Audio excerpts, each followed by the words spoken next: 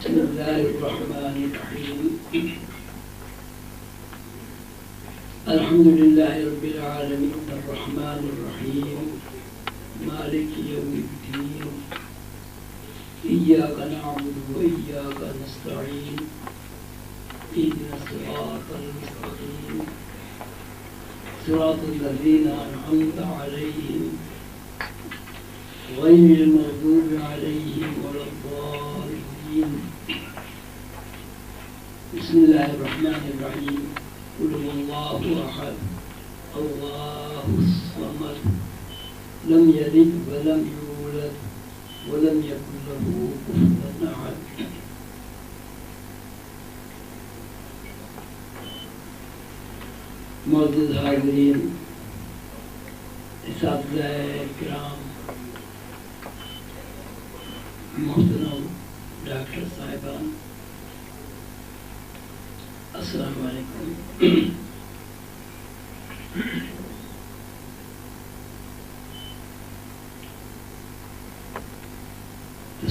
के मौजू पर कुछ बयान करने से पहले, अगर तसव्वुफ की तारीफ़ बयान कर दी जाए मेरे ख्याल में ज़्यादा मुनासिब रहेगा।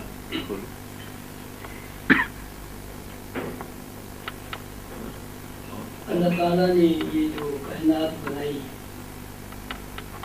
इस कायनात की तखलीक का जो मंशा अल्लाह ताला ने बयान फरमाया, वो ये है कि मैंने अपने बंदों को इसलिए तखलीक किया कि बंदे इबादत करें। इबादत से मुराद ये है कि बंदे मेरे से रबता कायम करें, ताल्लुक कायम करें। इबादत का मफहूम यह है कि बंदे मुझे पहचाने। वैसे खालिक के मखलूक मुझे पहचाने।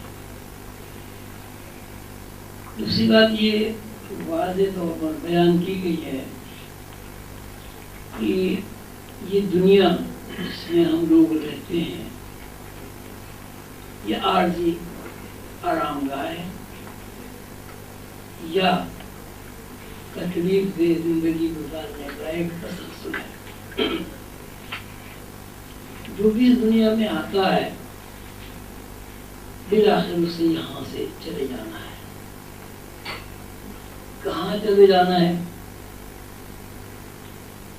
इसके बारे में हज़ारों साल से हमने अपने बुज़ुर्गों से जो कुछ सुना है, वो ये है कि आदमी मरने के बाद किसी दूसरी दुनिया में चला जाता है और वो दूसरी दुनिया आखरत है। अल्लाह ने इसी दिन में ये भी फरमाया है कि पैदा करने वाला मैं पैदा भी मैं करता हूँ और रब्बुल आलमीन भी हूँ।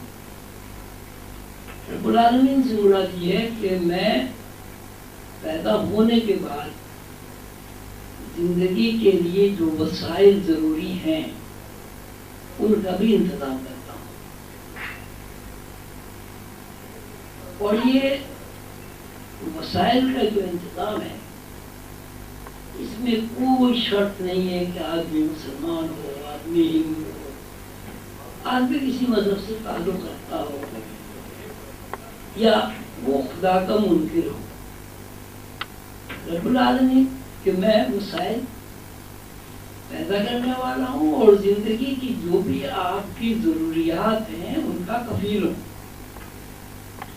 उसकी मिसाल ये है कि हर शख्स वो बूढ़ा हो, जवान हो, बच्चा हो।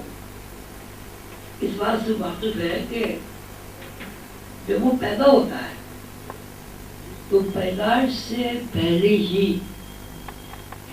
नौ महीने तक अल्लाह ताला उसको रिस्क फराहम करते हैं। अब रिस्क की फराहमी का जो इंतज़ाम है, वो ये है कि माँ को अल्लाह ताला ने वसीला बनाया।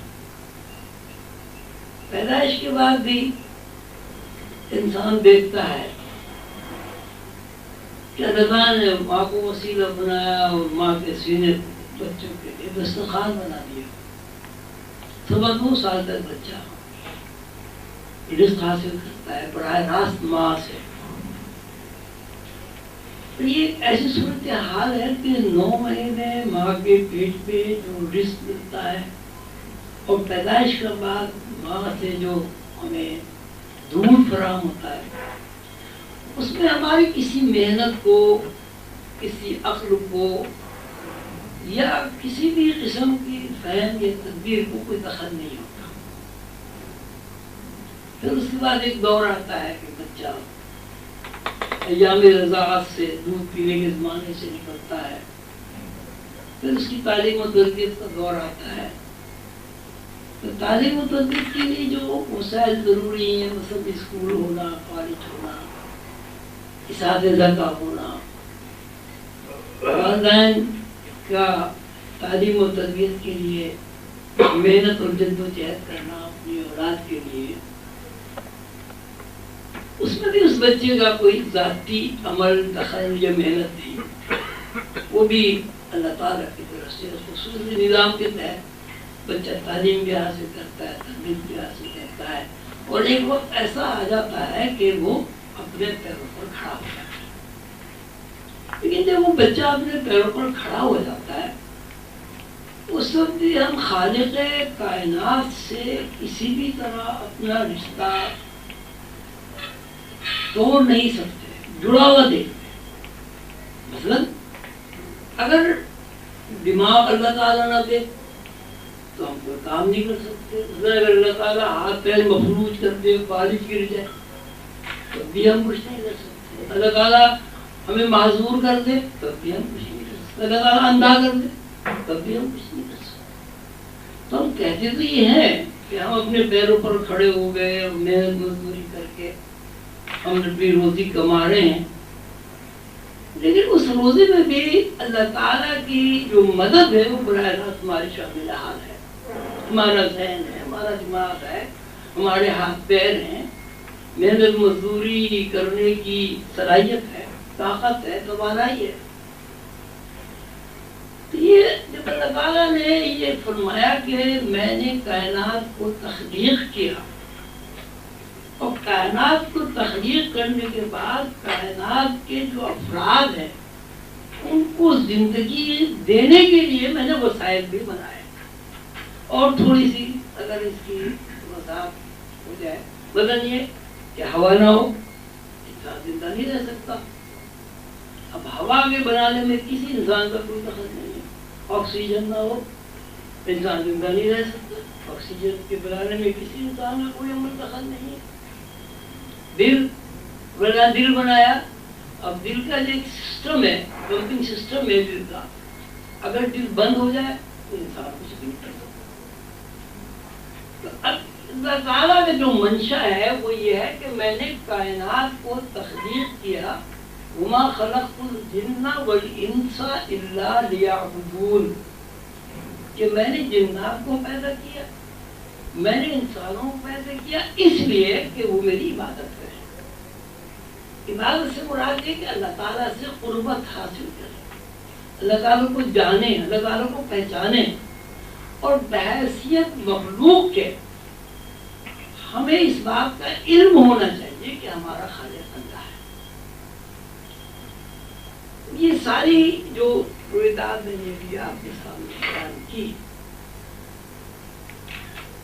इसको अल्लाह ने फैलाने के लिए, कायम करने के लिए, एक निज़ाम बनाने के लिए, एक नेटवर्क बनाने के लिए पैगम्बरों का सिलसिला शुरू हज़रत आदम सलाम से हज़रत पाक मोहम्मद सल्लल्लाहु अलैहि वसल्लम बताया जाता है रिवायतन एक लाख चौबीस हज़ार का फरमाना है एक लाख चौबीस हज़ार पैगम्बरों ने जो लोगों को इल्म सिखाया उसकी जो तारीफ़ हमारे सामने है वो ये है कि एक इल्म का नाम हमने शरीयत रखा और दूसरे इल्म का नाम हमने तरीका रखा शरीयत से मुराद ये कि हमें किस तरह ज़िंदगी गुजारनी है। मसलन हमारे अखलाक अच्छा होना चाहिए। मसलन ये, हम किसी की हस्तलफी ना करें, हम किसी की दिल आज़ादी ना करें। हमारा किरदार क्या एक मैार हो? क्या ना हम लोगों को सताएँ? न लोग हमें सताएँ। और साथ साथ ये कि हमें इस बात का इतराब हो कि हम मखलूक है और हमें किसी ने पैदा किया, यहाँ भेजा है। कुछ दिन हमें यहाँ रहना है और इस दुनिया से वापस जाना है। मुस्तकिल रूम हमने तुम्हें यहाँ कुछ दिनों के लिए भेजा कुछ वक्फे के लिए उस वक्फे को आपने पैगंबरों की तालीमत के मुताबिक पूरा करना है शरीयत एक उसूल है, एक कायदा है, एक जबता है कि इंसान माशरती एतबार से, किस किस्म का माहौल क्रिएट करे। उसे क्या करना है? अगर उसे यही करना है कि अच्छाई फैलानी है, बुराइयों को रोकना है ख्वाहिशात मुनकरात से बचना है।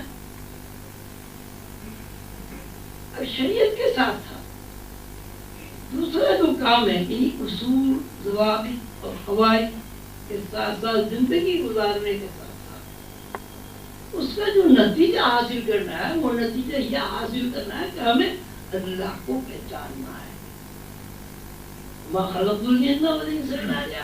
इसलिए ज़िंदा इंसान पैदा किए गए। कि अल्लाह को पहचाना जाए। अब पहचानने का जब सिलसिला हम कायम करते हैं, जोड़ते हैं तो अल्लाह को पहचानने का ज़रिया एक थी कि ऐसा कोई तरीका कार हो जो हमें अल्लाह तक पहुँचाए। अल्लाह गैर में है। गैर के बगैर, गैर में दाखिल हुए बगैर कोई आदमी अल्लाह को नहीं पहचानता। अब गैर के रास्ते का जो तयन है, गैर के रास्ते पर जो मंजिलें हैं, उन मंजिलों से गुजरने का जो एक तसलसल, एक अमल है, उसका नाम तस्वुर बिल्कुल ऐसी बात, जैसे एक डॉक्टर है, डॉक्टर अगर एक तसलसल से, मेडिकल साइंस से न गुजरे तो वो डॉक्टर नहीं इस तरह एक इंजीनियर है अगर वो इंजीनियरिंग की किताबें ना पढ़े इसी तरह से एक साइंटिस्ट है अगर उसके अंदर रिसर्च ना हो और रिसर्च करने की सदाहियत को इस्तेमाल ना करे मुसलसल जहन के साथ एक नुकते पर तवज्जो मरकूज करके एटम खोज न लगाए तो एटम को तोड़ नहीं तो ये रास्ते हैं वे बहुत सारे दरवाजे तो तसव्वुफ की तारीफ़ मेरे नज़दीक ये है कि गैब की दुनिया में सफ़र करने का जो तरीका कार है उसका नाम और गैर की दुनिया में आदमी उस वक्त दाखिल होगा जब अल्लाह और अल्लाह के पैगंबर सलाम और सल्लल्लाहु वसल्लम की तालीमात पर अमल किया जाए। बिल्कुल इसी तरह जिस तरह मसलन डॉक्टरी पढ़ने के भी एक आदाब है, इंजीनियरिंग पढ़ने के भी आदाब है, टीचिंग के भी एक आदाब है। तो इसी तरह गैर की दुनिया में दाखिल होने की भी आदाब है। अब सूरत हाल ये है कि एक बहुत बड़ा तबका ये कहता है सब गैर की दुनिया में हम दाखिल नहीं हो सकते गैब हम सीख नहीं सकते हम तो ज़ाहरी दुनिया के लोग हैं लेकिन ये जो तस्वुर के लोग हैं और ये आदा ये कहते हैं कि नहीं सबसे ज़्यादा आसान अमल ही गैब की दुनिया में जाने का है इसलिए कि जब हम इस दुनिया में नहीं आए थे उस वक्त हम गैर में थे यानी हमारी रूहें गैर में थी और जब हम इस दुनिया में नहीं होंगे तो भी गैर में जाएँगे। पैदा होने से पहले भी हम गैर में थे हमारी रूहें गैर में थी। और मरने के बाद भी हम गैर में थे। फिर और मजीद अगर इसकी तशरी की जाए। मतलब मैं एक बच्चा था किसी जमाने में, एक दिन का बच्चा था, आप सब एक दिन के बच्चे थे। जब मैं दो दिन का हुआ तो मैंने एक दिन घर में चला। मैं उसे देखू ना देखू, लेकिन मेरा एक दिन गैर में चला गया। जब मैं बारह साल का हुआ तो मेरे बारह साल गैर में चले गए। इसी सूरत से आज मैं बूढ़ा आदमी हूँ। मेरा लड़कपन, मेरा बचपन, मेरी जवानी सब गैर में चली मुझे याद है, मेरी जवानी मुझे याद है, बचपन भी याद है, लड़कपन भी याद लेकिन वो गैर में चला और एक वक्त ऐसा आएगा ये बुढ़ापा भी घर में चला जाएगा, उसी का नाम मौत हैं अल्लाह ताला ने पैगंबरों के ज़रिए हमें ये भी पैगाम पहुँचाया है कि यहाँ जो चीज़ दुनिया में पैदा हुई, उसको फना ज़रूर होना है। मौत। कि जो भी यहाँ पैदा हो गया, उसने मौत का जो सफ़र है, वो ज़रूर करना यदि हर चीज़ जो यहाँ मौजूद है। किसी ना किसी वक्त उसके ऊपर फना आएगी। फना से मुराद है कि इस जाहिरी दुनिया से वो गैब हो जाएगा। तो जिस तरह दूसरे उलूम सीखने के लिए स्कूल हैं, और स्कूल में कोर्स और निसाब पढ़ाए जाते हैं। इसी तरह अल्लाह का इरफान हासिल करने के लिए अल्लाह की मख्फी दुनिया, फरिश्तों की दुनिया, जिन्नात की दुनिया, आसमानों की दुनिया कहकशानी निज़ाम, सूरज, चाँद, सितारे, इन सबको देखने के लिए भी कोर्स और निसाब है। इस कोर्स और निसाब को तस्वुर कहा जाता है। लेकिन आदाब क्या है? आदाब ये ये कोर्स वही बंदा पढ़ सकता जिसके अंदर हजूर पाक वसल्लम की तालीमत पर अमल करने का जज्बा हो, शौक हो नमाज़ है, रोजा है, हज है, जक़ात है, अभी डॉक्टर साहब ने फरमाया, खुश अखलाकी है। दूसरों का दुख दर्द बांटना है। अल्लाह की मखलूक की खिदमत करनी है। अब देखिए, अगर आप गौर फरमाए तो मैंने अपने मुर्शिद करीम हजूर खंदर बाबा रहमत मेरे मुर्शिद हैं। तो अलहमदिल्ला मैंने उनकी खिदमत में शो रोज सोलह साल गुजारे हैं। एक दफ़ा उनसे सवाल किया तब आप में ऐसे कैसे मिल सकते हैं? मिल मुझे क्या मिल सकते हैं? उन्होंने फरमाया कि अल्लाह मैंने तुम्हें पैदा ही इसलिए किया कि अल्लाह चाहता है कि तुम भाई तुम्हें पैदा ही नहीं किया आलम गैर, आलम अरवा से, आलम ज़ाहिर में इसलिए भेजा गया है ताकि तुम अपना इरादा और इख्तियार इस्तेमाल करके उन रास्तों पर चलो जो एक लाख चौबीस हज़ार पैगम्बरों ने जिसकी निशानदेही की और जिस पर रसूलुल्लाह ने खुद अमल करके दिखाया उन रास्तों पर चलो। जब उन रास्तों पर चलोगे तो हर पैगंबर की तालीमत का निचोड़ यही है कि बंदे का से ताल्लुक तो अल्लाह इसलिए क्या तुम अल्लाह से मिलो। तो कैसे मिले फिर उन्होंने मुझसे सवाल किया आप ये बताएँ, आप किसी से दोस्ती करना चाहते हैं तो आप क्या करें? मैंने कहा साथ अखलाक से पेश आएँगे उसको तोहफे देंगे उसे बात सुनेंगे उसको वक्त देंगे भाई अगर तुम तोहफे तो आप नहीं दोगे वक्त नहीं दोगे फिर क्या होगा तो मैंने दोस्त तो दोस्ती नहीं अगर उन दो चार सवाल में तो मैं उसका जवाब नहीं दे सका तो उन्होंने खुद ही फरमाया देखो दोस्ती अगर आपको किसी से करनी है तो उसकी जो दिलचस्पी है हॉबीज है, उन्हें अख्तियार करो। अगर एक नमाजी से आप दोस्ती करना चाहते हैं, आप बाकायदगी से मस्जिद में नमाज़ पढ़ने जाए दुआ सलाम करें पक्की एक शराबी से दोस्ती कोई बंदा करता है तो ज़ाहिर है वो उसके साथ जो कुछ वो कर रहा है, अगर वो करेगा तो दोस्ती हो जाएगी। एक सिनेमा देखने वाले के साथ आप सिनेमा जाके देखेंगे दोस्ती कि जो उसकी दिलचस्पियाँ हैं, जो उसकी हॉबी है, वो अगर आप इख्तियार कर लेंगे तो उससे दोस्ती करने में आसानी पैदा होगी और पक्की दोस्ती सही है। अच्छा ये बताओ, अल्लाह ने क्या तो मैंने कहा जी, अल्लाह मियाँ पैदा करते हैं, अल्लाह मियाँ वसाइल देते हैं, अल्लाह मियाँ हिफाजत करते हैं, अल्लाह मियाँ दुआएँ कबूल करते हैं। अल्लाह ताला परेशानी से निजात देते हैं। तो बस ये सब सही है। एक एक लफ्ज में बयान करो, अल्लाह ताला क्या करते हैं? एक लफ्ज क्या करते हैं अल्लाह उसका भी मैं जवाब नहीं दे फरमाया देखो भाई अल्लाह ताला अपनी मखलूक की खिदमत करते हैं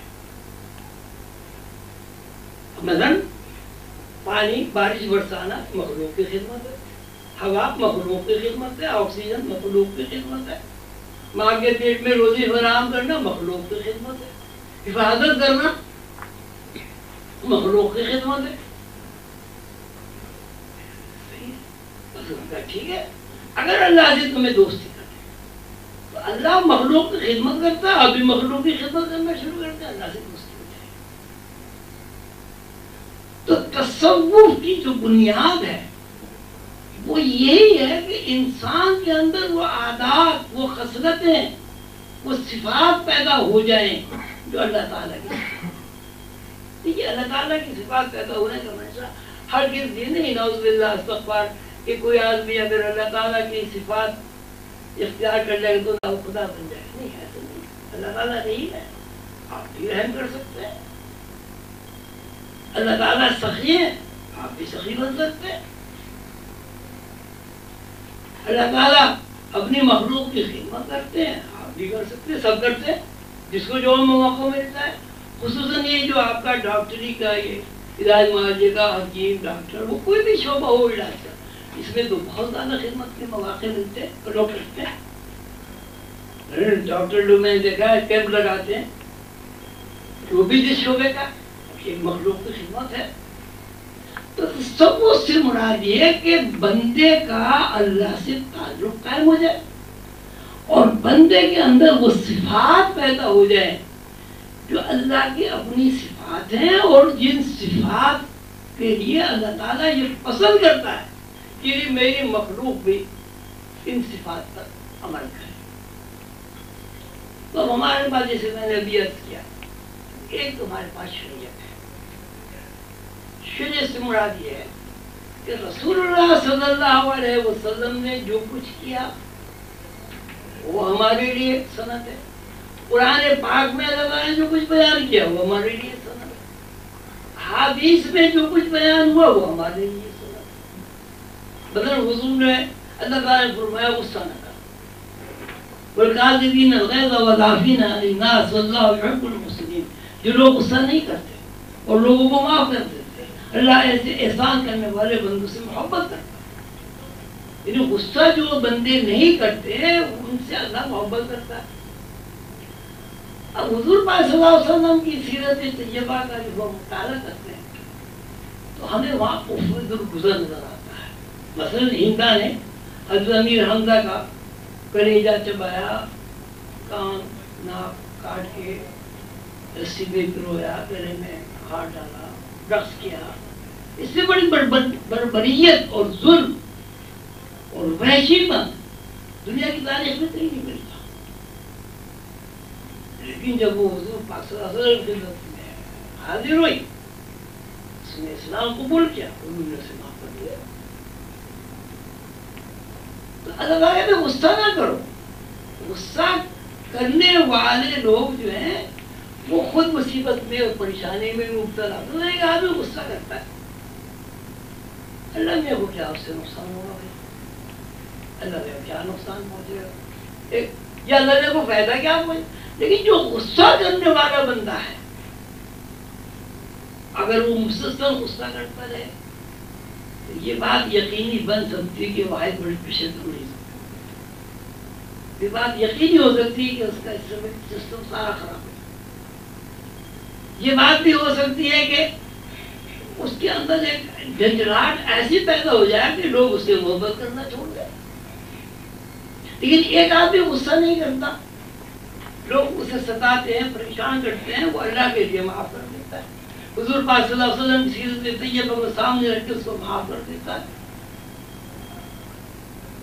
यकीनन वो बंदा दुनिया में हर जगह हो जाएगा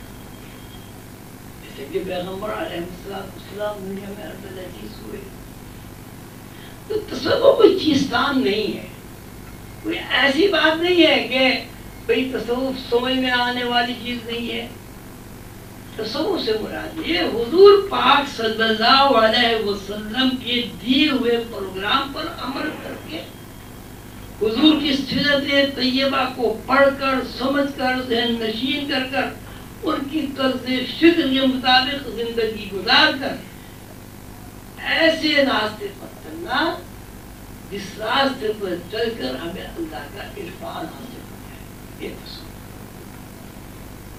इसके लिए बहुत बड़ी बड़ी किताबें भी लिखी गई, और लिहाजा भी आपके सामने आए। लेकिन जो बहुत बड़ी अल्लाह जैसे अब्दुल खाजा गरीब नवाज़ हैं, अब्दुल दातगंज बख्श हैं, या लाल शाहबाज कलंदर हैं, शाह लतीफ़ बिटाई हैं, बरी इमाम साहब हैं मीर साहब हैं, बाबा फरीद शकर हैं। हम जब उनकी ज़िंदगी का मुताला करते हैं तो हमें उनकी ज़िंदगी में कुरान की जगत भी मिलती है। और सैदना पाक सल्लल्लाहु अलैहि वसल्लम की जो सीरत है, उसका अक्स हमें उसमें नज़र आता है और उस अक्स की बदौलत वसल्लम की ताबीर इशाद के मुताबिक जब उन लोगों ने अपनी जिंदगियाँ गुजारी, उन्हें गैब की दुनिया में दाखिल होने का रास्ता मिल गया। और वो खुदा सीधा हो गया दूसरी जो तस्वुफ हमें जो बात बताता है, वो बड़ी अहम है तो अर्ज़ करना ज़रूरी है। ये कि जो भी इंसान यहाँ आता है, ये तो वो चला जाता है। एक बात और बहुत ज़्यादा गौर कर है, जो हमें तस्वुर बताता है। ये जो मादी जिसम है हमारा, ये बा इख्तियार तो है, लेकिन ये एक हद तक बा लामहदूद इख्तियार हासिल नहीं है। मतलब कोई आदमी प्यास में कंट्रोल तो हासिल कर सकता है लेकिन मुस्तकिल प्यासा नहीं रह सकता। कोई आदमी भूख पर कंट्रोल हासिल करके चलिए एक रोटी खा लेगा लेकिन ये नहीं कि वो बिल्कुल खाने ही छोड़ दे और आज़ाद हो जाए खाने से। कोई आदमी नींद से नहीं आज़ाद हो सकता कोई आदमी बीमारी से नहीं आज़ाद हो दूसरी बात यह कि जो ये जिसम में हमारा मादी जिसम, फ़िज़िकल बॉडी जिसे आप लोग तो उसके बारे में बहुत कुछ जानते हैं।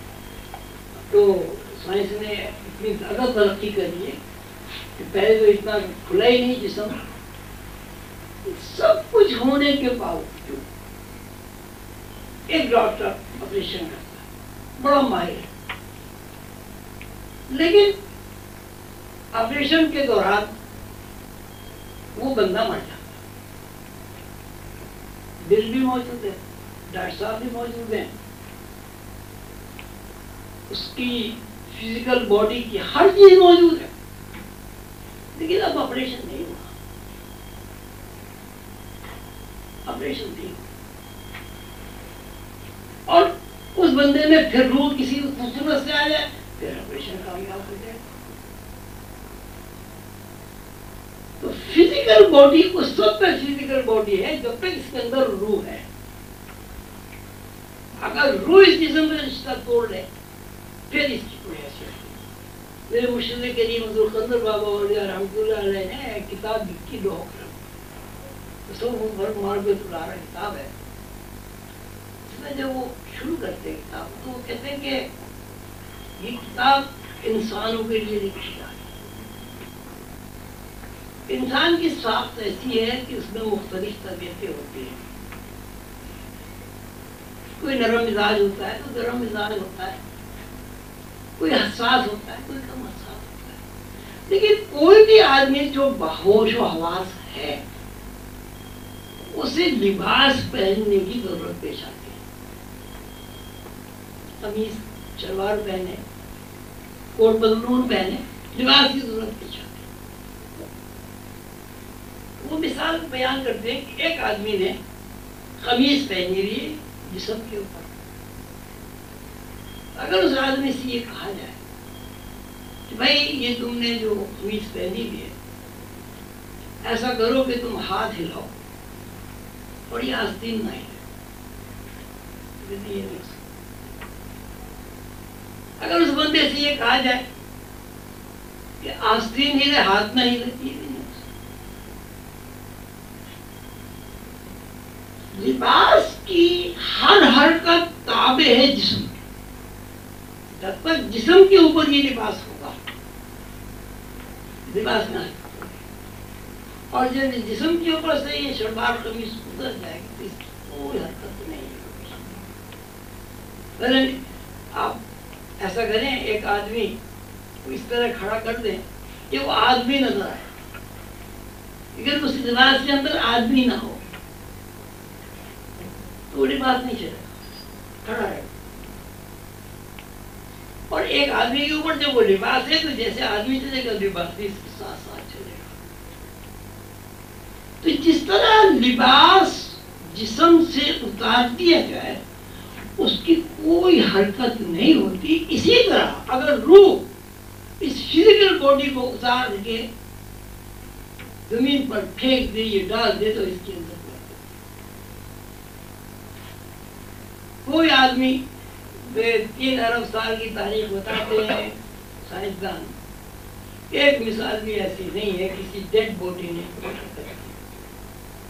जबकि हाथ भी है, पैर भी है, दिमाग भी है, आँखें भी हैं, सब कुछ एक दुनिया में ऐसी मिसाल नहीं मिलती कि दो मुर्दा आदमियों के आपने शादी कर एक मिसाल भी ऐसी नहीं मिलती कि कोई टीचर हो और वो मर जाए और मरने के बाद उसने अपना जो है सबक पढ़ा दिया वो जितनी भी मिसालें आपने फ़िज़िकल बॉडी उस वक्त फ़िज़िकल बॉडी है जब तक इसके अंदर रूह है। और अगर इसके अंदर से रूह निकल गई, अब ये डेड बॉडी है फ़िज़िकल बॉडी नहीं है। इसका मंशा क्या हुआ? इसका मंशा ये हुआ कि ये हमारा ये जो जिसम है, ये रूह का लिबास जब तक रूह इस लिबास को पहने रहती है, इसके अंदर हरकत भी होती है, देखता भी है, सुनता भी है। दिमाग भी इसका काम करता है। भूख भी लगती है, प्यास भी लगती है, शादी भी करता है, ब्याह भी करता है, पढ़ाता भी है, लिखाता भी है, खुद भी पढ़ता है, मेहनत भी करता है, मजदूरी भी करता है। लेकिन अगर इसके अंदर से रूह निकल जाए, यानी ये डेड बॉडी बन जाए, अब उसके बाद हरकत नहीं इसका मतलब कि हमारी जो आसन है, वो रूह रूह का इल्म क्या है? इसको तो सब रूह क्या है?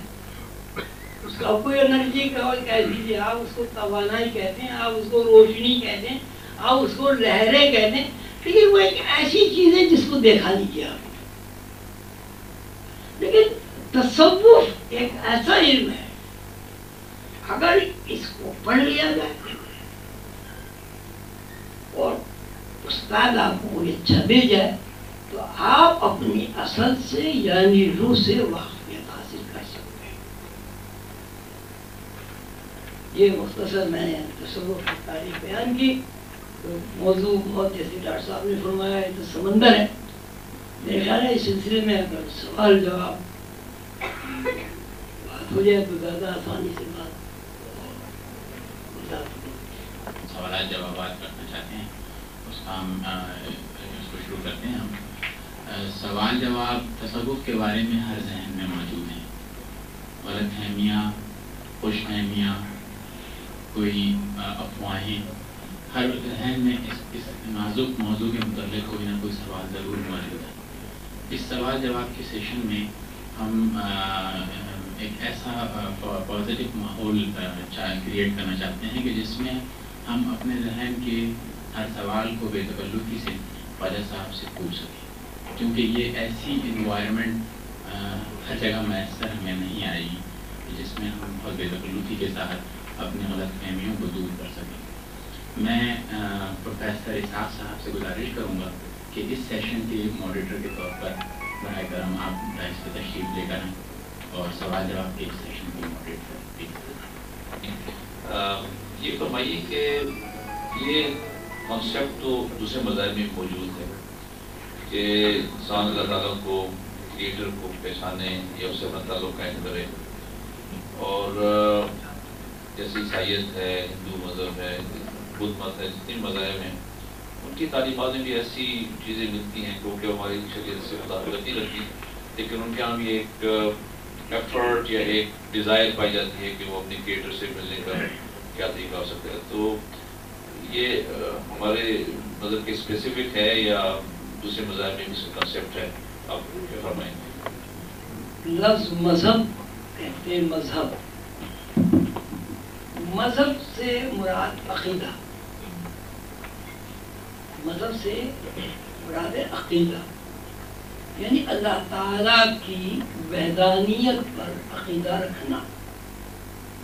ये अकीदा रखना कि अल्लाह के अलावा कोई परस्तिश के लायक नहीं है। अल्लाह वादुल्ला शरीक है। हजूर पाक का इशाद है कि मैं जो कुछ कह रहा हूँ, मैं कोई नहीं। रहा मेरे भाई पैगंबर जो कह चुके हैं, मैं उसी का याद कर उसी को दोहरा रहा तो आप पैगम्बरों की तालीमत का निचोड़ ये कि अल्लाह को जानो, पहचानो, अल्लाह वालों का शरीक है अल्लाह के अलावा कोई परस्तिश के लायक नहीं है। तो यही हज़रत मूसा ने भी कहा, यही हज़रत सलाम ने भी कहा, यही हारून ने, हज़रत मूसा ने, दाऊद ने, हज़रत सुलेमान ने, हज़रत इदरीस ने, हज़रत शुएब ने, हज़रत हूद ने, हज़रत नूह ने, हज़रत लूत ने, जितने भी पैगंबर हैं, आप देखें, इंजील पढ़े आप तौरात पढ़े कुरान पढ़े, वेद पढ़े भगवद गीता पढ़े। अब अगर वो लोग जो किसी भी मज़हब से ताल्लुक रखते हैं, अगर अम्बिया की तालीमत के मुताबिक अल्लाह को ढूंढते हैं, अल्लाह को तलाश करते हैं, वो रास्ता सही है। लेकिन अगर वो हज़रत ईसा ने कहीं नहीं कहा कि मैं अल्लाह का बेटा हूँ बाइबल में बड़े जगह जगह लिखा है इब्न आदम का बेटा इब्न आदम का बेटा अपने आप को, मेरा बाप, आदम। मैं इब्न आदम ये कहता हूँ। तो अब जब उन्होंने ये कहा, जिस गुरु ने उनमें भी एक गिरोह मुआहिदीन का है, सारे नहीं है मुझे। अगर उन्होंने ये कह दिया, कि ईसा सलाम अल्लाह के बेटे हैं। अब ये तोहीद के खिलाफ बात हो गई ये शिरक हो ऐसे लोग जब अल्लाह को तलाश करेंगे क्योंकि रास्ता गलत हो गया है। इसलिए अल्लाह उन्हें कैसे मिलेगा जब रास्ते से नहीं, रास्ता इधर लाहौर है, इधर कराची है। तो मैं जाना कराची जाता हूँ रुख करता हूँ, लाहौर का तो मैं कभी कराची नहीं तो जितने भी मजाइब हैं, अगर वो अपने पैगंबरों की तालीमत के मुताबिक यही तोहीद के मुताबिक, अल्लाह को ढूंढते हैं, अल्लाह से ताल्लुक अब जैसे नमाज़ है ईसा सलाम ने कहा नमाज़ पढ़ो, इब्राहिम सलाम ने कहा नमाज़ पढ़ो, मूसा सलाम ने कहा नमाज़ पढ़ो। हुजूर पाक हज़रत इब्राहिम सलाम की जो दुआ है मेरी औलाद को नमाजी बना।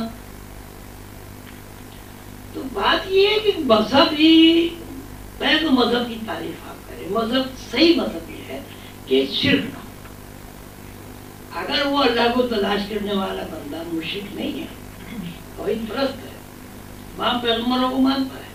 अल्लाह की किताबों पर ईमान रखता है। तो जब वो अल्लाह को तलाश करेगा तो वो सही है। और अगर वो तोहीद से हट गया तो वो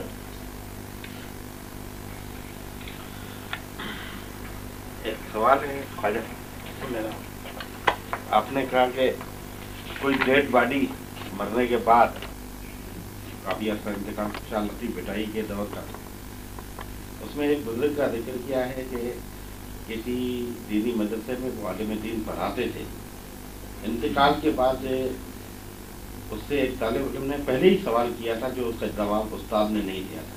मगर जब इंतकाल हो गया तो एक बुज़ुर्ग उसको दुआ मांगने गया तो उससे ख्वाब में आया कि फलां सवाल का जवाब ये है, मेरे शागिर्द को बता दीजिएगा। इतने सालों में क्या तालीम मरने के बाद कब्रिस्तान में या कब्र के अंदर भी जारी रहती है? हाँ। ये एक कहते हैं ये इलाज हो जाते हैं तो खबर। तो एक गड्ढे में जिसमें बहुत सारे लोग पसंद थे मुशिकीन उधर पास वहाँ तशरीफ़ ले गए और वहाँ कहा कि भाई, नाम ले फला फला। कि मुझसे जो अल्लाह ने वादा किया था, वो तो मैंने देख लिया। पता कब? क्या तुमसे जो अल्लाह ने कहा था तुमने भी देख लिया? तो सारा ग्राम ये सुन रहे थे, उन्होंने पूछा यार सुनना क्या ये सुनते? हैं? हाँ ये तुमसे ज़्यादा सुनते हैं। लेकिन तुम इनके जवाब नहीं सुनते।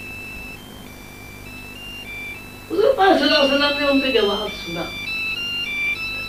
अगर हम हजूर पाक वसल्लम की तालीमत पर अमल करके उस सलाहियत को बेदार कर लें तो हम भी मुर्दों की बातें समझ सकते हैं।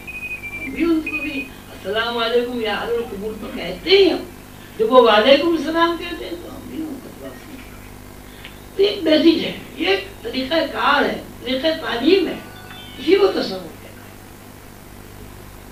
कि आप मरने के बाद की ज़िंदगी से इस ज़िंदगी में वाकिफ हो जाए। पास तो मर जाओ मरने से मर जाओ मरने से पहले ये नहीं है कि आप खुदकुशी कर खुदकुशी तो हराम है। खुदकुशी हराम है। मर जाओ मरने से पहले मतलब कि मरने से पहले मरने की बाद की ज़िंदगी को देख लो। समझ लो कि वहाँ क्या होता है। कुरान में तो है कि खबर में ये होगा हशर में ये होगा हिसाब किताब में ये होगा। हुजूर फरमाते हैं, मुँह तो कबल आता हूँ। मर जाओ मरने से पहले, मरने से पहले, मरने की बात की ज़िंदगी का इदराक अब ये इदराक कैसे करेंगे? अब इसका एक तरीका है, तरीका तालीम है स्कूल है, और वो तसव्वुफ है, या बुज़ुर्गों की खानका है, जो अब नहीं रही। पहले खानकाएँ थी, उसमें बाकायदा दरसों तदबीस होती थी जो थे। कि हम इस मादी दुनिया में रहते हैं सुबह उठते हैं, तैयार होके अपने काम पे चले गए। मैं डॉक्टर हूँ चलिए अस्पताल चला गया कारोबारी इंसान है वो कारोबार में चला गया। सारा दिन इस चक्कर में गुजर जाता है। शाम को वापस आए। दरमियान में नमाज़ का मौका मिला। अल्लाह सबको दे, पढ़ ली, रोज़े भी रख लिए। मेरा सवाल आपसे ये है कि इस रूटीन में यहाँ के, मैं समझ थोड़ी बहुत खिदमत खल्क बहसीत डॉक्टर भी हो जाती है जैसे आपने फरमाया चीज़ है। लेकिन तसव्वुफ की तरफ़ किस तरह से इस रूटीन की दुनिया में हम अ, सफ़र इख्तियार कर सकते ये हो सकता है अमरीका में भी हो सकता है पाकिस्तान में हो सकता है। वो वक्त निकालेगा पढ़ता भी है। वक्त पर जाता भी है। अगर इम्तहान देना हो तो इम्तहान भी देना है। लेकिन आप तमाम मसरूफियात के बावजूद एक कोर्स पढ़ने के लिए वक्त निकाल लेते हैं। जितना वक्त आप कोर्स पढ़ने के लिए निकाल लेते हैं इतना वक्त आप तसव्वुफ के लिए निकालें आप तसव्वुफ का हो जाएगा ही अदीमुल फुर्सत हो कितने ही अदीमुल फुर्सत हो, आपको कोई काम करना आप कर लेते भाई कुछ भी हो, मैं, भाई मैं ऑपरेशन छोड़ दूँगा, मेरे दोस्त की शादी में ज़रूर मेरी बेटी की शादी हो रही है, आज मैंने ऑपरेशन नहीं करना। छोड़ दिया ना अब इसी सूरत से जितनी अहमियत आपने बेटी की शादी को दी है, इतनी अहमियत आप की मुलाकात को दे दें, आप पास में खुद बखुद निकल जाए। ये इल्म आता हो। मगर में डॉक्टर साहब, जब मुझे मिलते हैं, मैं इनसे बहुत सवाल करता हूँ, दिल में क्या होता है, कितने वॉल होते हैं, नीचे कहाँ होते हैं, ऊपर क्या होते हैं, अपर चैम्बर क्या होता है, दो चैम्बर ये मुझे बताते हैं। तो अब दिलचस्पी है उसमें, मुझे कुछ याद नहीं आते हैं फिर। बहुत, मैं ख्याल कई परसेंट तो मैं डॉक्टर बन गया, दिल का। इसलिए इनसे पूछता रहता हूँ। कोई डॉक्टर मिला वो मुझे भी मुझे के बताओ भाई क्या होता है। डॉक्टर नहीं बना, लेकिन मुझे मालूम हासिल अब अगर कोई बंदा ऐसा मिल जाए जो तस्वुफ जानता हो, थोड़ा सा वक्त देना पड़ेगा कोर्स में भी आप वक्त देते हैं। शादी ब्याह में भी वक्त देते हैं। अखबार भी पढ़ते हैं आप रोज, उसमें भी वक्त देते हैं। रेडियो टीवी वॉच करते हैं, रेडियो सुनते हैं, उसमें भी आप वक्त देते हैं। चलो टीवी में क्या होता है सिवाय यहाँ मर गया, वहाँ मर गया, यहाँ मर गया, वहाँ मर गया। ये सियासी खबरें होती हैं जिसका आपसे कोई ताल्लुक ही नहीं होता। कहीं वो टीवी वाला होता, आप दस में देखिए आपको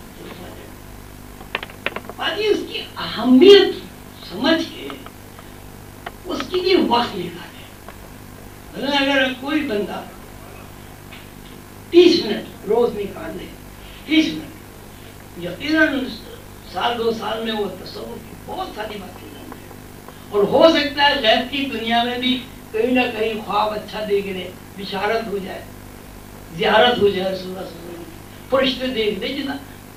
ऐसा होता है हमारे बहुत सारे शागिर्द हैं। सारे लोगों को इस कदम की चीज़ें नज़र आ जाती हैं। बात तो ये पहले मुझसे एक साहब ने कहा कि सर ये सारे डॉक्टर साहब डॉक्टर साहब सबको बुला रहे हैं। तुम जाके तकरीर करोगे? क्या वो समझ लेंगे एक दिन की तकरीर में उन्हें तस्वुर आ जाए? मैं नहीं सब नहीं आएगा पैगाम कि तस्वुर भी कोई चीज़ अगर उसके लिए आप वक्त निकालें तो जिससे आप कोर्स के लिए वक्त देखिए, कोर्स पढ़ने की आपको ज़रूरत नहीं होती। अगर आप ना पढ़े तो आपकी डॉक्टरी में कोई फ़र्क नहीं पड़ेगा। लेकिन चूँकि नई नई मालूम नई नई इजादात नई नई तहकीकत नई नई रिसर्च हो रही है तो उस रिसर्च से आप फ़ायदा उठाने के लिए वक्त निकालते हैं। तो एक ये भी एक नया रिसर्च में तो कोई तस्वीर एक नई रिसर्च है। अगर वक्त हो, तीस मिनट रोज लेकिन उस तीस मिनट में भी ईमान नहीं करनी बल्कि आपने फरमाया कि कोई बंदा मिल जाए जैसे आप जैसी हस्ती हैं तो चलिए हमने ढूंढ ली। वो टाइम जो आधा घंटा आप कह रहे हैं समझ लें कि मुझे बिल्कुल कोई इल्म नहीं है मैं जानना चाह रहा हूँ कि वो आधा घंटा में कहाँ से स्टार्ट करूँ क्या करूँ? रोज मैं निकालने के लिए तैयार भी हूँ लेकिन क्या चीज़ें ऐसी हैं जो करनी चाहिए। क्या आपके साथ सिटिंग करनी चाहिए? आप जैसे हस्तियों साथ करनी चाहिए। पढ़ना चाहिए। कोर्स कहाँ से स्टार्ट होता है?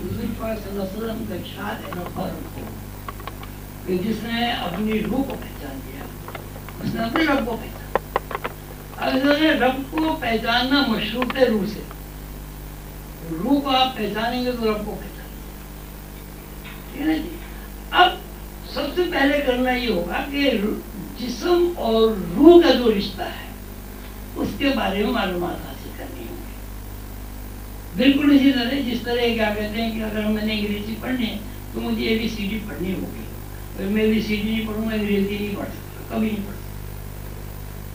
फिर वही है कि आपके पास जो वक्त है वह कोई स्कूल हो, कोई जगह हो, आपका घर हो, मेरा घर हो, डॉक्टर साहब का घर हो, जैसे आप अंग्रेज़ी में फला कोर्स करना चाहता हूँ, किस तरह करो इस कोर्स में आगे ठीक हो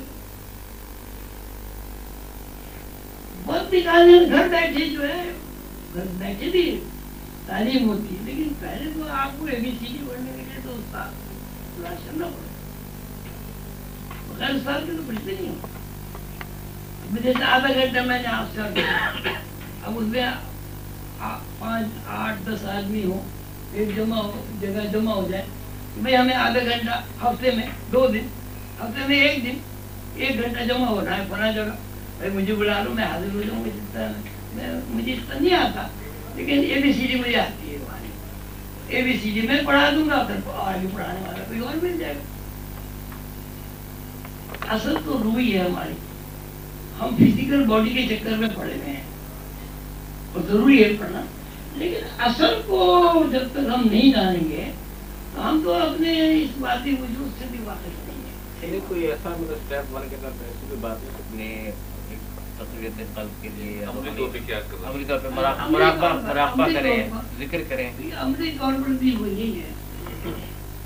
वो कहते हैं कंसंट्रेशन ये जहनी तवज्जो का मरकूज करना किसी एक नुकते इसको मुराकबा हैं और ये ऐसी बात है कि जब तक आपको कंसंट्रेशन नहीं होगा, आप ऑपरेशन नहीं कर सकते।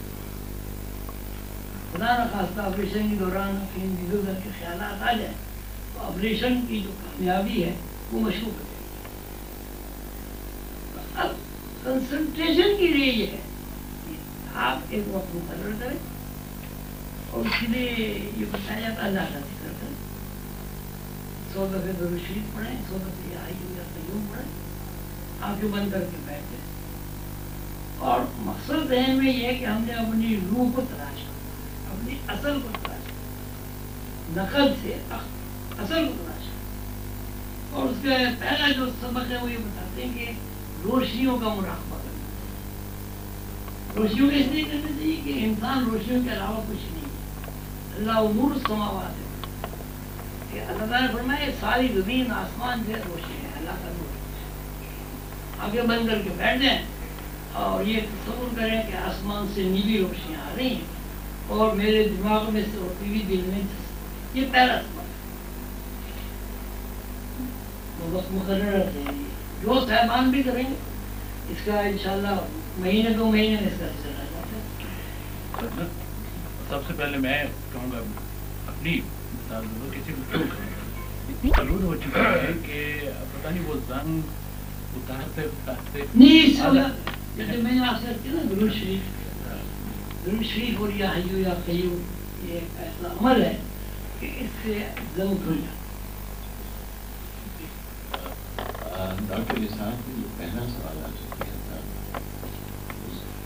कि दूसरे मजाहिब में भी हर सूरत रूहानियत या तस्वुर जो भी आप कह रहे हैं उसका किसी न किसी शब्द में तस्वुर मौजूद है जवाब में आपने फरमाया कि अगर उसके लिए सिर्फ़ शर्त ये है कि अब ये भी फरमाया कि ईसाइयत के हवाले से जो कुछ चंद ऐसे हजरात हैं कि जो मुवहिद हैं मुझे जो मेरे बुज़ुर्गों ने बताया है कि हर वो चीज़ हर वो तस्वुर अल्लाह की जानिब आप उसको हासिल करना किया चाहते हैं और है तो उसके लिए तवसुल जो है वो रसूल करीम वसल्लम के बगैर मुमकिन नहीं है जिसने उन्हें नहीं माना तो उसका ईमान मुकम्मिल नहीं है अगर उसका ईमान मुकम्मिल नहीं है और जिन हजरात पर आपका इशारा है उन्हीं लोगों को भी लीजिए मुस्लिम ईसाई हैं, बुद्ध हैं, हिंदू हैं। उनके ख्वाह अपनी जानी अपने कहीं कैसे ही हों। लेकिन अगर उसमें उस हस्ती कामिल का पे एतकाद कुल्ली का अंसुर मौजूद नहीं है तो मेरी नाचीज राय में तो वो बिल्कुल बेकार है, इसलिए कि जहाँ तुमको अल्लाह ने जो चीज़ बनाई दे दी। आपने किबला तुम्हें किबला नुमाई दे क्या बताऊँ? तुम्हें अल्लाह ने क्या क्या बख्शा? एक खुदाई के सिवा सारी खुदाई दे दी। तो अगर ये सूरत हाल है और मेरा ये था तो फिर उस सूरत में तो हुजूर वो रास्ता जो है वो खुद की बदला और सकता और उसका जो मरकज ये मेरी मैं, मैं अपने जहन को साफ़ करने के लिए कि अगर ये शक्ल है तो फिर कोई आदमी कितनी ही नेकियाँ करता फिरे। मेरा ख्याल से कुरान में भी एक है कि वो उसका वो हिसाब किताब यहाँ दुनिया ही में उसका अजर दे देता जिस अजर की हम तलाशी उसके लिए तो वो हस्ती जिसको कि हम खैरुल बशर कहते हैं, उसका वजूद, उससे मोहब्बत, अल्लाह से मोहब्बत मेरे ख्याल से मुमकिन ही नहीं है जब तक कि उससे लोग कुरान पाक में वल्लदीन आमनु अशद्दु हुब्बन कि जो मेरे महबूब बंदे हज़रत मोहम्मद सल्लल्लाहु से जितनी मोहब्बत करता है, मैं उससे कई ज़्यादा उस बंदे से मोहब्बत करता हूँ। युहिब्बुनहुम बिल्लाह वल्लज़ीना आमनु अशद्दु करीब देखिए, वहाँ मैंने जो अर्ज़ किया था, वो ये था कि जो आदमी मुआहिद होता है, मुआहिद की तारीफ़ है। मुआहिद की तारीफ़ ये है कि अल्लाह को वादुल्ला शेख माने। जितने पैगंबर अलैहिस्सलाम तशरीफ़ लाए उनको पैगंबर माने। उसमें हुजूर पास सुन दी और अल्लाह की जितनी किताबें नाजिल हुई उनको भी तस्लीम करें। अगर ये नहीं होगा तो वो मुआहिद की छूटेगी। तो तो तो अपने आप ही इस दायरे के, के की निस्बत से बेरूनी हो गए। अल्लाह ने जो बयान उनका कुछ अल्लाह ताला ने जो खाल दिखे ना इन्नल्लज़ीना आमनू वल्लज़ीना हादू वन्नसारा वस्साबिईन वो लोग जो मुसलमान हैं वो लोग जो नसारा हैं वो लोग जो यहूदी हैं वो लोग जो साइदीन हैं साइदीन सितारा जी मन आमन बिल्लाह अल्लाह पर ईमान रखते हो? वल यौम आखिर यौम आखिरत पर ईमान रखते हो? फरिश्तों पर वो नबी है। ये तारीफ़ हो। अगर वो अल्लाह पर, अल्लाह के फरिश्तों पर, अल्लाह की किताबों पर, अल्लाह की नबियों पर ईमान रखते हैं तो उनका अमाल नहीं होता और अगर ये नहीं है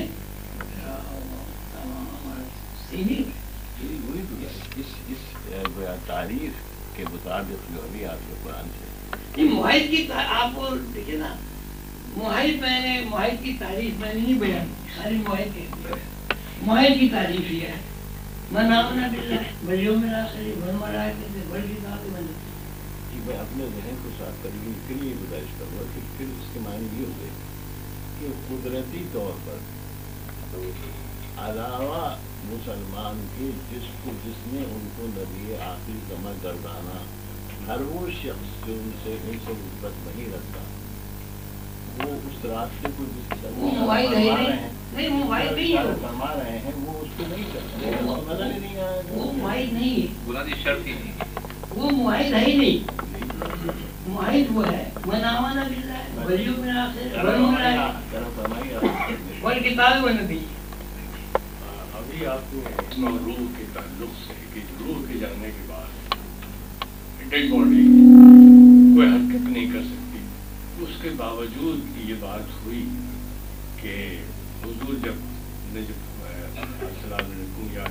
का जवाब मिला और हुजूर ने सुना तो ये हुजूर के साथ तो ये खसूसियत समझ में आती है बात। लेकिन औरों के बारे में मुझे ये सवाल करना है कि जिन कुछ हजरात जो ख़ास तौर पर अहले में हैं, कि जिनकी रूह का ताल्लुक जिस्म से ख़त्म हो गया। और डेड बॉडी के तौर पर जो मदफून हो गए, उनसे सवाल करना, उनसे मदद मांगना, ये कहाँ तक सही है? क्या वो इस पोजीशन में हैं डेड बॉडी होने के बावजूद कि न सिर्फ़ सवाल सुने, बल्कि वो वहाँ दस्तगिरी भी करें? इससे कोई दस्तगीर देखिए जैसे दादा साहब के यहाँ हम जाते हैं वहाँ जाके कुछ पढ़ते हैं। और साहब ये कहते हैं कि, हुजूर हमारे लिए दुआ करें, अल्लाह हमारे काम करते हैं। तो ये दस्तगीरी उस मामले में नहीं है कि हम नौजुल्ला दादा साहब को खुदाई का दर्जा दे रहे हैं। हम अपने बुज़ुर्गों से, ज़िंदा बुज़ुर्गों से माँ बाप से भी दुआ कराते हैं। माँ हमारे लिए दुआ करो, हमारे क्या दाता साहब सुनते हैं हमारी हमारी बात को? दादा साहब की रूह सुनती तो खास बात है या हर डेड बॉडी की रूह सुनती है। हर डेड बॉडी की रूह सुनती अस्सलाम वालेकुम या अहल कबूर। अस्सलाम वालेकुम या अहल ये काफ़ी लिखा गया है। मेरे ख्याल में बड़े उलमाए दीन जो हाफिज इब्नुल कय्यूम ने किताब और रूह जो बड़े मुहिब थे। जिसके बारे में उसकी एक बहुत ही नायाब किताब काफ़ी रिप्रिंट हुई है। मेरे ख्याल में अगर वो पढ़ लें तो मेरे ख्याल में इस्लाम के अंदर रूह का तस्वर और ये बात सुनने वाला उसमें वादे हो जाएगा। नहीं मैं अस्सलाम या वसल्लम का है जाओ तो तुम कहो अस्सलाम वालेकुम या तो अगर वो सुनते नहीं तो इस बात को हुक्म क्यों दिया गया? सुनते। नहीं हुक्म है। तुम कब्रिस्तान जाओ तो अस्सलाम वालेकुम या आदम और साथ ही हुजूर ने ये फरमाया, सल्लल्लाहु कि वो जवाब देते हैं, वालेकुम अस्सलाम, लेकिन तुम नहीं सुनते। तुम क्यों नहीं सुनते?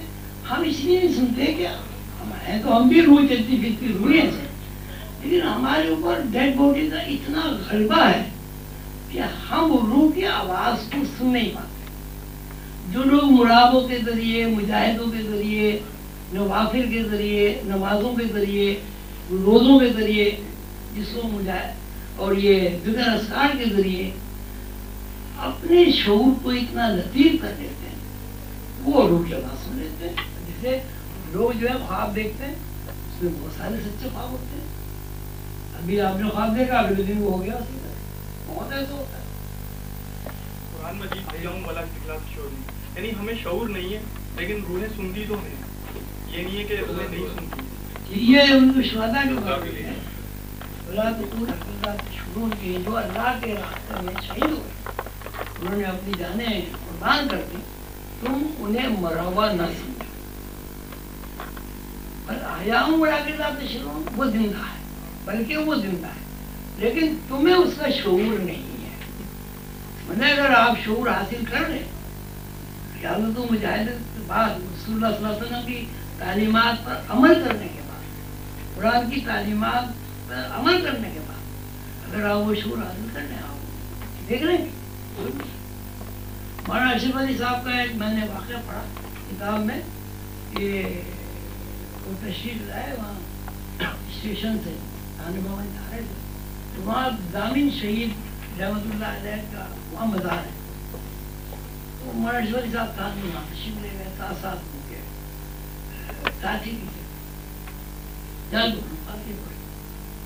उनके पढ़ी जब वो पढ़ी तो घबरा के उन्होंने हाथ छोड़ दिए, बाहर आ गए। तो पूछा क्या हुआ? तो उन्होंने फरमाया कि, हाफिज साहब ने मुझे डांट दिया।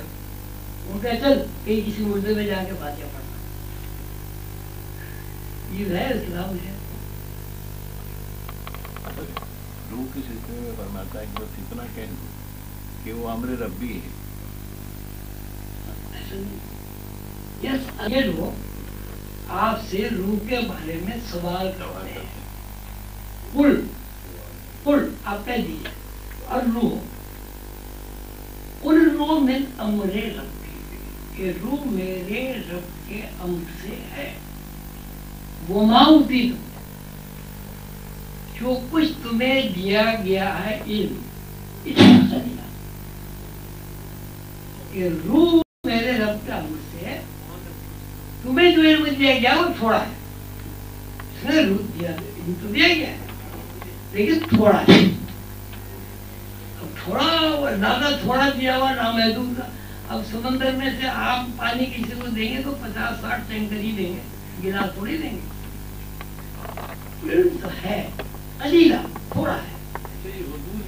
ये अल्लाह ताला ने हुजूर को कल इल्म दिया यानी हमको तो कोई नहीं दिया यानी कह दो। नहीं कह दो। कह दो। नहीं नहीं आपको रूह का इल्म दिया। थोड़ा। थोड़ा सा। अब हुजूर से हमें मिला। अब जितने हम हुजूर पाक वसल्लम से मोहब्बत करेंगे करीब हो जाएँगे जैसे बाप का रिश्ता औलाद को मिलता है। हम चूँकि हुजूर की उम्मती हैं हमें हुजूर का होगा। अब जितनी हमारी सलाहियत है। अब हमें जो करीब मिलेगा, वो हमारे हिसाब से करीब मिलेगा शरीयत की तो बात नहीं अब हुजूर वसल्लम की तो इतनी बड़ी सलाहियत है कि कायनात ही सारी उनके लिए बनी। अव्वला मा खलक़ल्लाहु नूरी। हुजूर पाक जब हमारे लिए ना महदूद है। लेकिन हमें जो हुजूर से इल्म मिलेगा, वो महदूद होगा। लेकिन मिलेगा डॉक्टरों के मजमे में आपने बहुत इब्तदाई नोयत की बातें बयान करना मुनासिब समझा। ये कि शायद हम उन गहराइयों को इदराक न कर पाए जो तसव्वुफ जैसे मौजू के साथ मुंसलिक हैं। लेकिन ये बताइए कि शेख की पहचान में आम इंसानों को क्या मुश्किलात पेश आती हैं और उन मुश्किलात को दूर करने के लिए क्या किया जा सकता है? दूसरा सवाल ये है कि आप माशाल्लाह बहुत अरसे से इस मैदान में अमल कर रहे हैं। अमूमी तौर पर तसव्वुफ के इंस्टीट्यूशन पर जो तनजुल छाया हुआ है, उसकी रोशनी में आप अपने गुजशत कई सालों की मेहनत को किस तरह से देखते हैं? ये बड़ा एक सवाल है कि तसव्वुफ के बारे में ये जुमूद जो पहले हुआ ये क्यों? जबकि दुनिया में उलूम जो है, रोज़ाना नए नए उलूम सामने आ रहे हैं उलूम ने सीख रहे हैं। वो मुश्किल हो गया सब नहीं सीख रहे लेकिन एक बहुत बड़ी तादाद सीख रही एक तो के बारे में ये है कि दुनिया जो है, लोग, वो दुनिया परस आता हो गए। मतलब मैंने किताब लिखी है सामने तस्वुर वो बावजूद यूनिवर्सिटी में मास्टर में पढ़ाई कोर्स में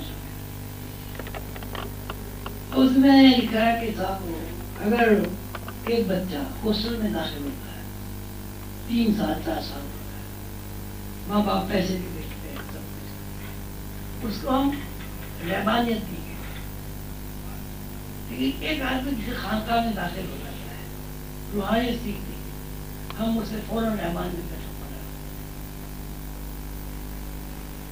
हमें रूहानियत से दिलचस्पी ही नहीं है, और वो इसलिए नहीं है कि अब अब मैं रूहानियत थोड़ी बहुत ए बी सी डी में कहता मुझे आती है। अब मैं ये ए बी सी डी की बुनियाद पर आपके पास हूँ मुझे चपरासी रखवा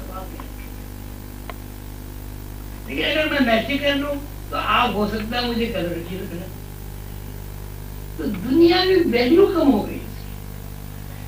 लोग ये समझने लगे हैं, और ये एक साजिश बहुत बड़ी सलातीन की और यहूदियों की उन्हें तस्वुर के बारे में कुछ इस तरह जाल फेंका है कि तस्वुर के बारे में ये समझ आता है जो आदमी सूफी किस्म की तरफ़ चला गया, वो दुनिया से खत्म हो अभी भी यही है अगर कोई आदमी किसी अल्लाह के पास जाके बैठने लगता है तो बच्चे आपके माँ बाप कहते हैं, बच्चा किया हमारा।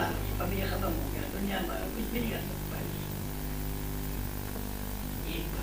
वहाँ वाई एन सी कलम में क्या कहते हैं, इसी तरह और बातचीत हुई।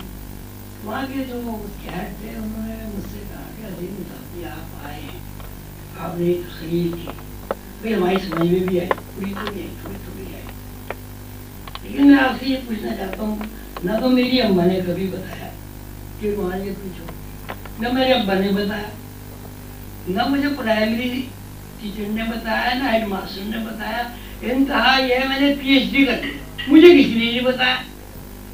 अब मैं आपकी एक बात सुन के कैसे यकीन कर लूँ भाई, मुझे तो किसी ने बताया ही नहीं। बात वही है कि रूहानियत का कोई कंसेप्ट ही नहीं है हमारे यहाँ। रूहानियत का कंसेप्ट क्या है कि आदमी है, उससे दुआ करा लो, मरीज़ अच्छा हो जाएगा। उससे दुआ करा लो औलाद हो जाएगी। उससे दुआ करा लो, नौकरी मिल जाएगी। उससे दुआ करा लो, वो जो बॉस है, वो खुश हो। जाएगा जब तुम क्या कहते हैं, परेशान होते हो, मेरी तरह मुतवजी होते हो, रोते हो, गिड़गिड़ाते हो, मैं तुम्हारा काम कर देता हूँ, तुम कहते तो हमने किया। फिर तुम पर के आती ही जब तक कि तुम्हारा काम खराब नहीं होता। तो रूहानियत का कंसेप्ट नहीं मतलब अब वो भी साहब यहाँ बैठे हुए हैं। अब आप, मैं कहूँ जी, अपने बच्चे को मुझे दे दो, मैं इसे रूहानी बना दूँगा। कहेंगे अजीम साहब कितनी मिलेगी, बड़े गए फिर तनख्वाह तो नहीं मिलेगी तो क्या मैंने इसे बर्बाद करना है दुनिया? हालाँकि ऐसी बात नहीं है, अगर आप रूहानी लोगों को देखें, वो दुनियादार लोगों से बाहर हार अच्छे होते हैं। एक उनमें सुकून बहुत होता है, नींद बहुत आती है, उम्रें उनकी कबील होती है मर्ज उन्हें कम पकड़ते हैं। फिर दूसरी है जो बड़े से बड़े अमीर कबीर जाके वहाँ दुकानों बैठते हैं और दस रुपए लेके भी आते हम कहते हमें नहीं लेने। मैं नहीं ले लो मैं नहीं लेने। डॉक्टर साहब यकीन करें मैंने हुए देखा। एक साहब आया मेरे पास, उन्होंने पैसे दिए, मैंने मैं नहीं वापस कर दिए। वो रोते हुए चले गए। वो जनाब, वो फैक्ट्री के मालिक वो मैं जाके दूर से कहा मैं जी तो तेरे हुआ, उन्होंने देखा नहीं। तो करती अब जाओ उनके घर जाओ जाके उनसे दस आओ भाई सुबह सुबह भैया उनके घर गया उनका बैल बजाया वो आए वो हैरान हो गए क्यों आ गया ये मैं कह मैं माफ़ी मांग जाएँगे मेरे दो। ये इस तरह दस रुपए आप किसी बड़े से बड़े डॉक्टर को कोई हकीकत नहीं देगा है लेकिन मतलब ये कि हमारे यहाँ कंसेप्ट नहीं है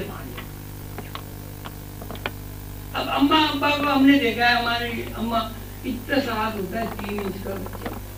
वो कहते हैं, मुन्ने, दुआ मांग अब्बा की तरफ़ से तो हालाँकि तरक्की और जो भी कुछ अल्लाह ही करता है, अल्लाह से दुआ मांगना ठीक है, बहुत अच्छा। अपने बच्चों से माँ दुआ मंगवा रही है, उसको ताल्लुक अल्लाह से जुड़ना है। लेकिन किसी माँ ने ये दुआ नहीं मांगी कि मुन्ने दुआ मांग, अल्लाह तुझे मिल जाए। तेरी दोस्ती हो जाए मैंने अपनी वादा सारा से पूछा आपा जी अब जी कह कि मैं इतना बड़ा हो गया हूँ कभी मैंने ये किसी से नहीं सुना कि अल्लाह क्या कहे हर आदमी यही कहता है दुनिया क्या कहेगी लोग क्या कहेंगे तो वो खामोश होकर कहेंगे हाँ भाई मैंने भी सुना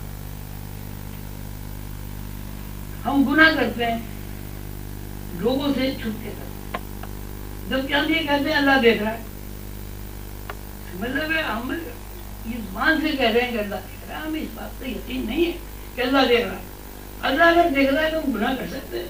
हमें यकीन हो। मैं कहते, सभी कहते हैं। अच्छा अल्लाह के हुक्म पत्ता भी नहीं हिलता हम कहते हैं, हमारी किए बगैर कुछ नहीं होता। यही वजह है कि बेचारे अल्लाह है ये कहते रहे, उनके चंद बंदे उनको मिल गए। वो उन्हें अपनी ड्यूटी पूरी की, उनको सिखा के वो चले अब होना ये चाहिए कि जिस तरह इंस्टीट्यूट खुले हुए हैं, दूसरे लोगों इसी तरह कुछ लोग जमा हो, वो स्कूल खोले, वहाँ इंस्टीट्यूट खोले। वहाँ लोगों की तालीम हो, तरबियत हो।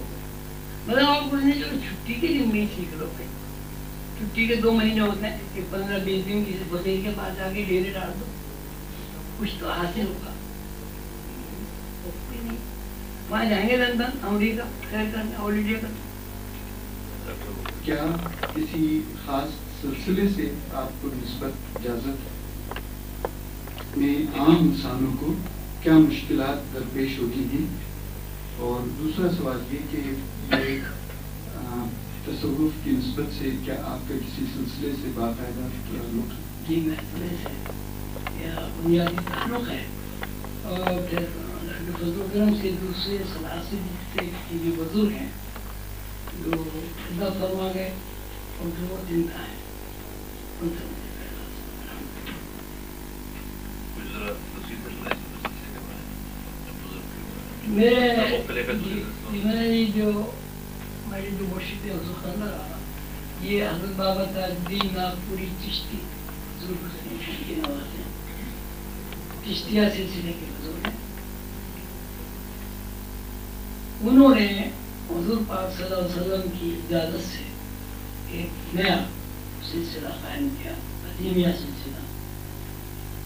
उसकी सारी तालीमात जो हैं, चारों सलासिल को कवर करती नशबंदिया सोरबंदिया कादरिया चिश्तिया अब उन्होंने जो तालीमात सिलसिले की हमें दी हैं, उसमें इस बात का ख्याल रखा गया है कि ये मौजूदा दौर में लोगों के जो सहन हैं, वो बालिग हो गए हैं और लोग मशहूर हो गए हैं।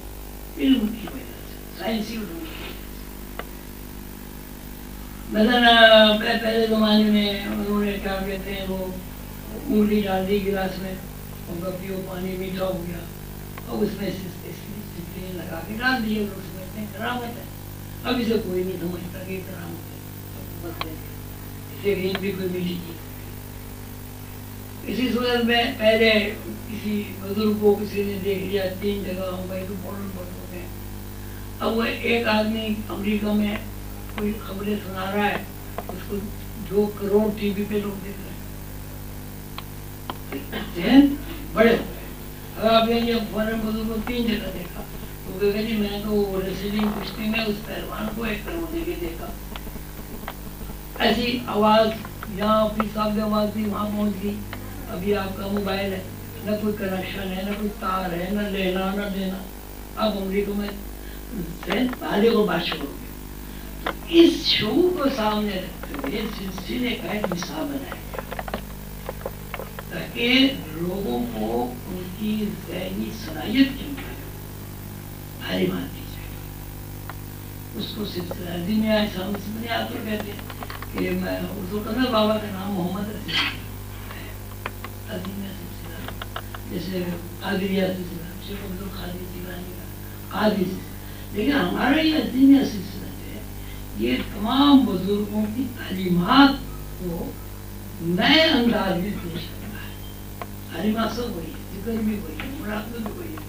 नमाज़ भी वही है, रोज़ा, हज, ज़कात वो चीज़ें सब वही लेकिन उसको हमने एक साइंसी अंदाज में इसलिए पेश किया कि लोगों को अपील है। हमारे जो दीन सिलसिला है, उसे पढ़े लिखे लोगों ने खाना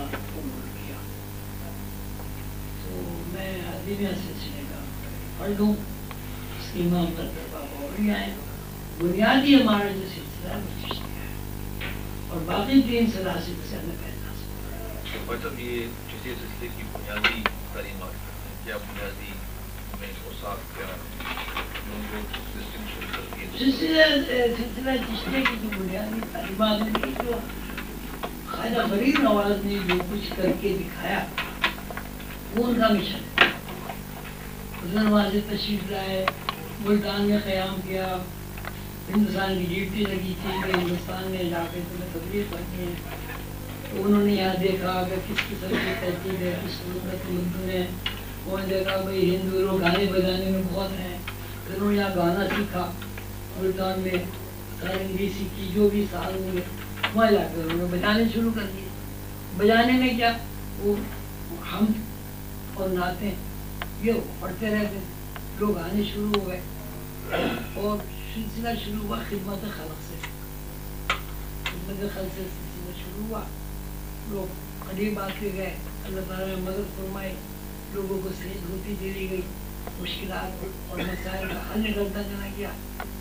वो उनसे बुरी होते गए सिलसिला लेकिन बुनियाद हुए, हुजूर पाक से मसला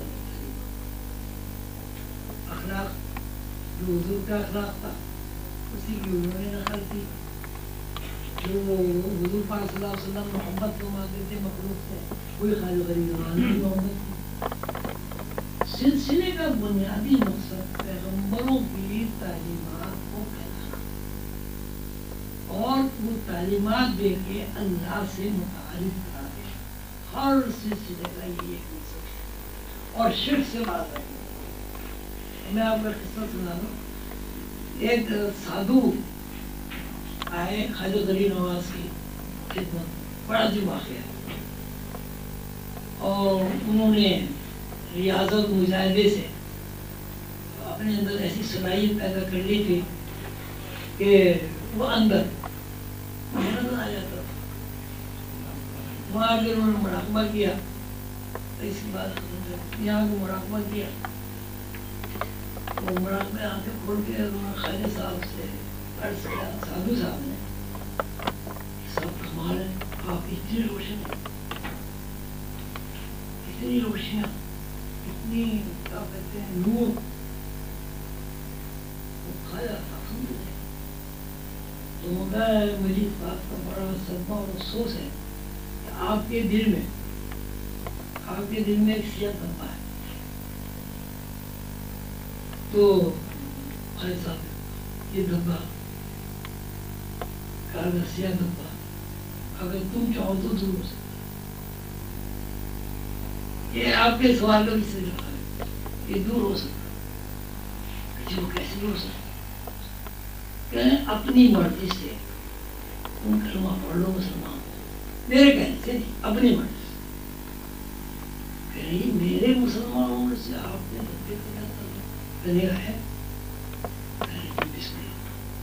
उसको निराया। जो भी तो भाई अब देख भाई आज जो देखा तो था। हैरान हुआ। ये क्या बात हुई? कहने भाई, बात ये हुई कि ये जो तूने देखे ना, रोशन सब, ये मुझे तूने देखे कानून है। कि हर आदमी बाहर नहीं देख रहा, अपने अंदर देख रहा और ये है भी, जब आदमी मर जाता है, कुछ नहीं देखता तो अंदर ही देख रहा था ना। रूह अंदर है ना। आप अंदर ही खा रहे हैं, अंदर ही पहन रहे हैं, अंदर ही पी रहे हैं, अंदर ही सो रहे हैं। रूह निकल रही कुछ भी नहीं। तो क्या भाई तूने इतनी आदत मुजाहिदा किया है। तो खुद रोशन है। और दिल में जो धब्बा तूने देखा, वो तेरे दिल के अंदर था धब्बा। क्योंकि तूने इस्लाम नहीं लाया था? तूने इस्लाम कबूल कर लिया, वो धब्बा तेरा दूर हो गया ऐसी तू चीज़ कर लिया तो एक कानून भी बयान कर दिया कि भाई तू हर आदमी अपने अंदर देखा एक फॉलो ले लेंगे सुना आपका अपनी इरादी कुत पे इससे पहले गैर में अपने अबू के साथ आपका लेक्चर सुन चुका हूँ, जो कि खैर का हिस्सा बन गया है। मैं दोबारा आपकी मौजूद पर वापस जाना चाह रहा हूँ। कि पैदाइश से पहले जो कुछ भी था, वो गैब था। हमारी रूह मौजूद थी और मौत के बाद भी जो होगा, वो गैब हो जाएगा, जो हमारी रूह। उस रूह की हैसियत जुदागाना है या इंफरादी है, नंबर पहला सवाल ये है। दूसरा सवाल ये है कि वो रूह क्या बाख्तियार थी कि इसी जिसम में आए, या बाख्तियार थी कि इस जिसम को छोड़ दे? और तीसरा सवाल भी तकी मीर के शेर की रिजोल्यूशन चाहूँगा मैं कि जब कुछ ना था तो खुदा था, जब कुछ ना होता तो खुदा होता। तो गोया मुश्किल से मेरे ना होता मेरे क्या और मैं नहीं कि वो इंफरादी होती रूह इंफरादी भी होती इज्तमाही भी होती एक बात दूसरी दूसरा आपने क्या क्या सवाल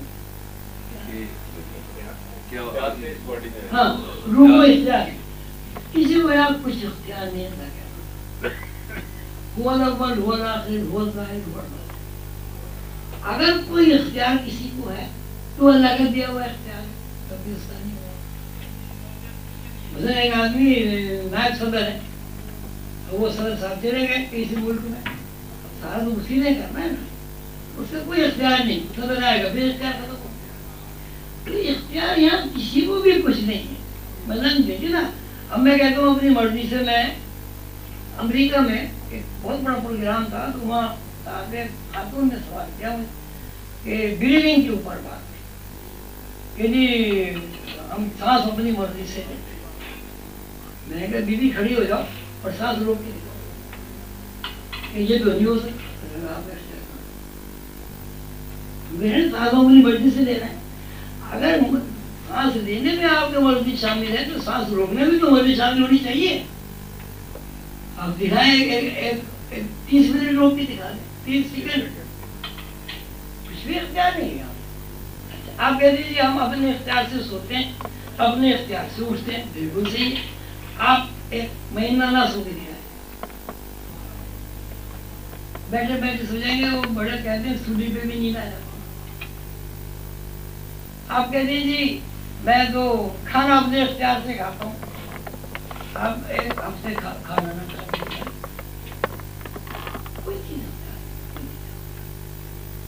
आपको तो ये भी पता नहीं हमें। ये तो ये पता हम देख कैसे रहे अभी डॉक्टर लोग कहते हैं एंटीना है और पीछे वो अक्स पड़ता है और दिमाग कोई यूज़ होता है। ये सब कैसे हो रहा है? कहाँ से हो रहा है? कौन कर रहा है? आपका क्या है? देखने हम जो देख रहे हैं, जो भी कुछ हो रहा है अंदर, अक्स पड़ रहा है हम देख रहे हैं। लेकिन ये कौन कर रहा है?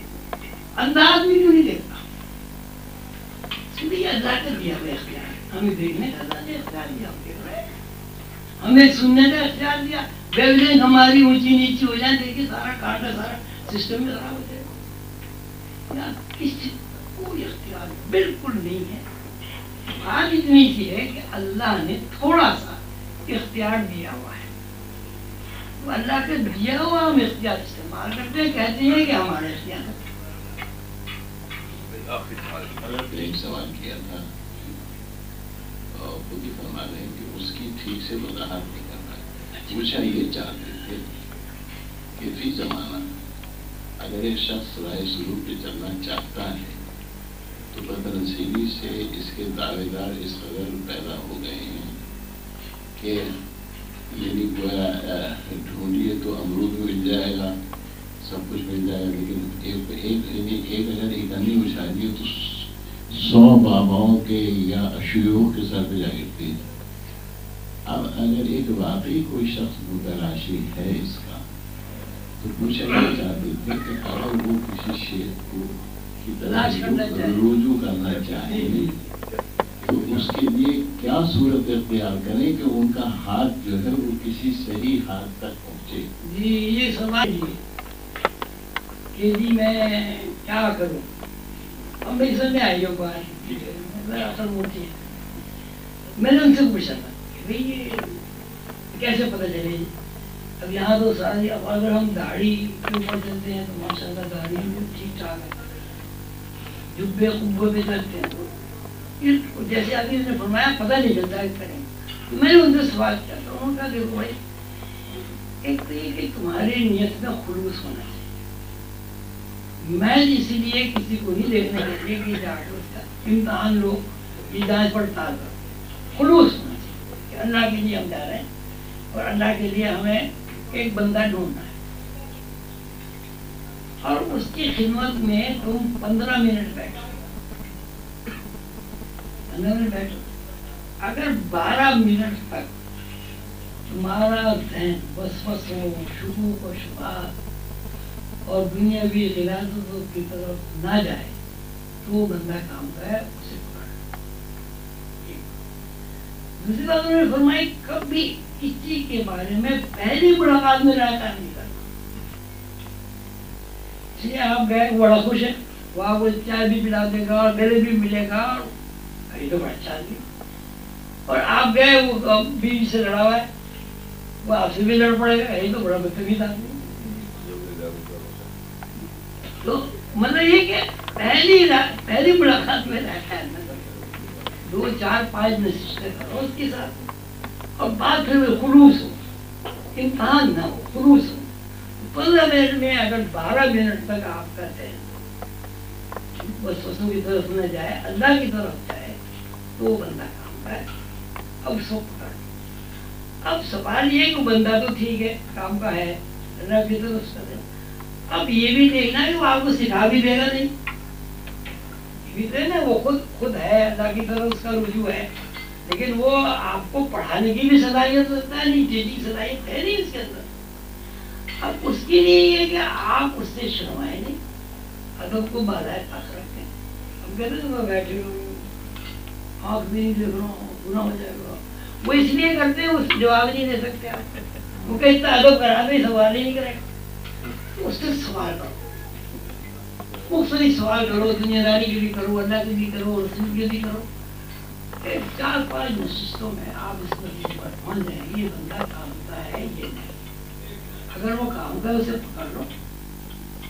और जो पकड़ने के बाद जो पहली शर्त है कि उसकी तामील करो। अगर तामील नहीं करोगे मतलब ना आप डॉक्टर हैं वो आप जा जाते हैं, उसके बाद वो कहता है, भैया, खड़े हो जाओ, जी में खड़े हो जाओ बाबू कुछ नहीं इसलिए कि जब आप ए बी सी डी यानी देते पढ़ते हैं असल तक तो क्वेश्चन नहीं होता आपका सवाल नहीं होता। अगर एक बच्चा ये कहे, जी मैं ए क्यों कहूँ? मैं तो ए बी को कहूँगा बी ए को कहूँगा बच्चा इसीलिए पढ़ लेता है जब उसका कहते ए तो ए कहता है। उसका कहता है बी वो बी कहता है। मुझे अपने बचपन के बार बार मेरे दिमाग में आता था। मैंने अपनी अम्मा से पूछा, अपन है मैं देखता हूँ, मेरे अब्बा लाठी लिए खड़े। क्यों लाठी लिए खड़े हैं? क्यों मुझे मार, मारते थे? क्या करते थे? थोड़ा बड़ी हद से कहा तुझे याद नहीं? बस इतने याद है वो अम्मा की दादी अम्मा लाठी थी ओहो मेरी इसकी याद नहीं आया तो रही जब तुझे फ़ायदा उन्होंने शुरू कराया तो कहा अलिफ बे जी अलिफ बे जी अलिफ बे जी तो तुम्हें कहा अब्बा अलिफ बे नहीं नहीं अलिफ अलिफ नहीं नहीं अलिफ बे मेरी जिद आ गई मैं तो बेग वाली कहूँगा। तो मैं तुम्हारे अब्बा ने वो कहता रख दिया, जाओ खेलो। वो पता नहीं क्या सोचते रहे। फिर उन्होंने कायदा पढ़ाया और दादी अम्मा की लाठी उठा ली तो वो बोले, ये क्या है? तो तूने अपनी दूसरी ज़ुबान में कहा, दादी अम्मा की लाठी। कहनी दादी अम्मा की लाठी अलिफ होता है। वो कहीं तुझे पढ़ना चाहिए हम लोग दादी अम्मा की लाठी पढ़ रहे हैं, पता कुछ नहीं किसी को। अगर उस्ताद के सामने अली बे का चक्कर चल जाए, आप कोई बच्चे तामीर करना लाजिम है। अब आप रूहानियत सीखने जा रहे हैं, कोई भी इल्म सीखने जा रहे हैं, अब उसकी अली बे तो हमें आती नहीं। तो जो उस्ताद कहे तो अब वो लोग कहते हैं, हम कैसे माने? ये तो शरीयत के खिलाफ है तो तरीकत के खिलाफ है तो खुदा के खिलाफ है। अरे भाई, वो उस्ताद को पता है शरीयत के खिलाफ अगर वो कोई उस्ताद ऐसा है जो आपको शरीयत के खिलाफ है, और उसकी तो शक्ल भी नहीं रहेगी नहीं ये ज़रूरत है, वो तो आरिफ को आरिफ का है। माशाल्लाह, इतने सारे आप साहबान बैठे साबित कर दिया अली बड़ी आप मैं नहीं मानता अलिफ है आप साबित करके दिखाए अली बड़ी अरे अच्छा लगता बड़े आप ही कर ही हो है हैं जो आप पढ़ा रहे हैं ये हो चुका है जेल में खामखा के एक आर्य समाजियों के गले और उसने कहा कि साहब उससे आप मुलाकात और अच्छी बात तो मगर इस पर मजबूर करती हो तो आज चुनाचे जनाब खाजा खाजान की दरबार दरबार दरबार के सामने ही मुलाकात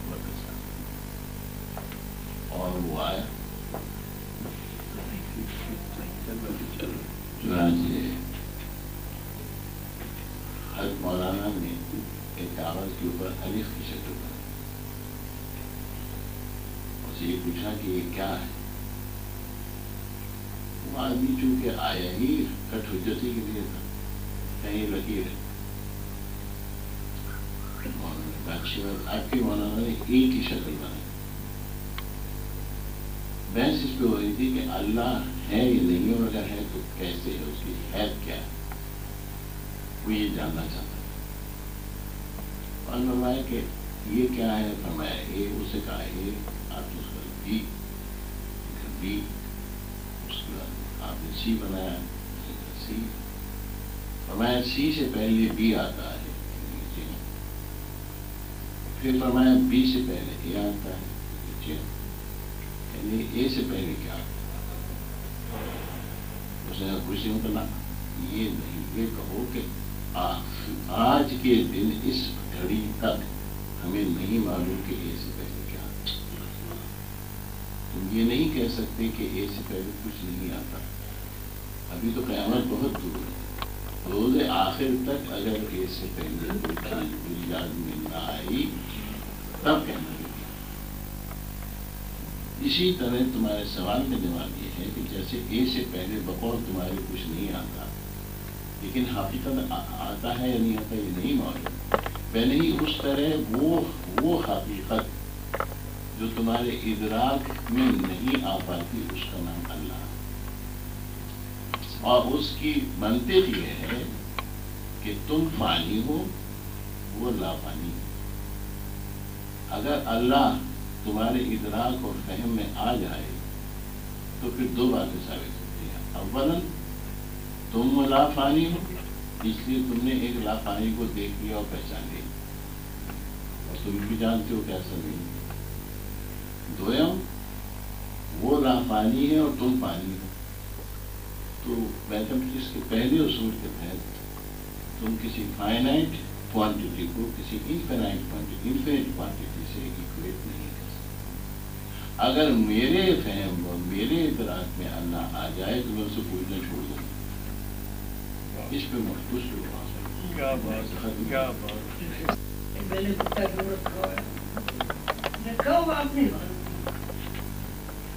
तो कहने मैंने ये सुना है कि मुसलमान ये कहते हैं कि जिस घर में कुत्ता होगा उस घर में रहमत का फरिश्ता नहीं आता कहीं मलकुल मौत है ये रहमत का फरिश्ता है ये रहमत का। तो रहमत का फरिश्ता अंग्रेज़ ने कहा कि बस मैंने कुत्ता इसलिए रखा कि रहमत का फरिश्ता ना है तो उनका नहीं ऐसी कोई बात नहीं है। जो कुत्ते की रूह निकालेगा वो तुम्हारी निकाल देगा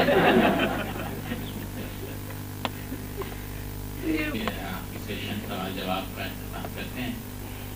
इस प्रोग्राम को खत्म करने से पहले मैं जनाब गुलाम नबी काकी कोशिश आपको से गुजारिश करूँगा कि वो डाइस पर आकर इख्तामिया कलमात की डाइस पर मैं कलमात मैं जनाब दिल का शुक्रगुजार हूँ कि उन्होंने हमें ये मौका दिया कि आज इस में हम के एक एक कुछ पार्ट पे कुछ रोशनी डालें। और मुझे यकीन है कि आज का सेशन आप सबको, सब लोगों के लिए काफ़ी इंफॉर्मेटिव होगा। और एटलीस्ट हमने यहाँ आके इस बात की, इस बात का स्टूल दिया है कि रूहानियत और तसव्वुफ के सिलसिले में एटलीस्ट कुछ न कुछ हम रोशनी है और हम ये जानना चाहते हैं कि आखिर ये चीज़ क्या है और उसको कैसे हासिल किया जाए। एक सवाल ये उठ रहा था कि इस सिलसिले में हमें क्या करना चाहिए? हम किसके पास जाएँ और किससे पूछें? या हमें क्या अमली इकदाम करने चाहिए? तो उसमें काफ़ी फौज साहब ने तो काफ़ी रोशनी डाली उस पर कि आप मुरादे से शुरू करें और शरीफ पढ़ें या या कयूम फौज साहब की काफ़ी तसानीफ मौजूद हैं और वो काफ़ी एक्सप्लेनेटरी हैं। मैं आप लोग से ये गुजारिश करूँगा कि वो भी ज़रूर पढ़ें और उसमें जो कुछ उन्होंने बयान किया है, वो भी काफ़ी हद तक आप लोगों को रहनुमाई फरमाएगा। मैं आप सब लोगों का और डॉक्टर प्रोफेसर इसहाक साहब का और साहब का ये शुक्रगुजार हूँ कि आप यहाँ तशरीफ़ लाए। और सबसे ज़्यादा मैं वजह साहब का शुक्रगुजार हूँ कि उन्होंने हमें टाइम दिया और ये हम लोगों ने बर्पा की। और मुझे यकीन है कि अल्लाह ताला हमें इस अच्छे मकसद के लिए और रहमता फरमाएगा। और उसके साथ ही मैं आपका शुक्रिया शुक्रिया अदा करता हूँ कि लाए। बहुत शुक्रिया। और एक ऐसे मौजू पर ने गुफ्तगू की की जो मौजू बना दिया गया है नहीं मुतनाज़ इसको बना दिया गया मौजू का ऐसा है नहीं सीधी सी बात है कि हर बेटा ये जानता है मेरा बाप है और अगर वो नहीं जानता ही मेरा बाप है तो उसके अंदर कमी है मुनाफरमा ना सही है। तो हमारा असल बाप, असल मालिक, असल खालिक अल्लाह है। हम उसकी मखलूक हैं। अल्लाह का कुनबा है। ये हमारी ज़िम्मेदारी है कि हम अल्लाह को पहचानने के लिए वक्त निकालें। इसलिए कि ये जो दुनिया है, ये ज़्यादा ज़्यादा अस्सी साल, नब्बे साल की लेकिन जन्नत और दोजख की जब ज़िंदगी का तस्करा आता है तो जन्नत की ज़िंदगी तो ठीक है लेकिन अगर खुदा ना खास्ता खुदा ना खास्ता हमें जन्नत नहीं मिली तो इतना बड़ा अजाब है और इतनी तवील ज़िंदगी पता नहीं कब तक की होगी तो उससे बचने के लिए उससे महफूज रहने के लिए ये ज़रूरी है कि हम यहाँ की आसाइश साथ वहाँ की आसाइश की और ये बात तो यकीनी गाना तो यहाँ से है। और दूसरी बात बहुत ज़्यादा समझने की है। आप यहाँ कुछ भी कर लें। मकान बना लें घर बना लें जगह बना लें बैंक बैलेंस हो गया। आपके साथ कुछ जाएगा नहीं। खसरा दुनिया और आखिर अल्लाह जो कुछ आप यहाँ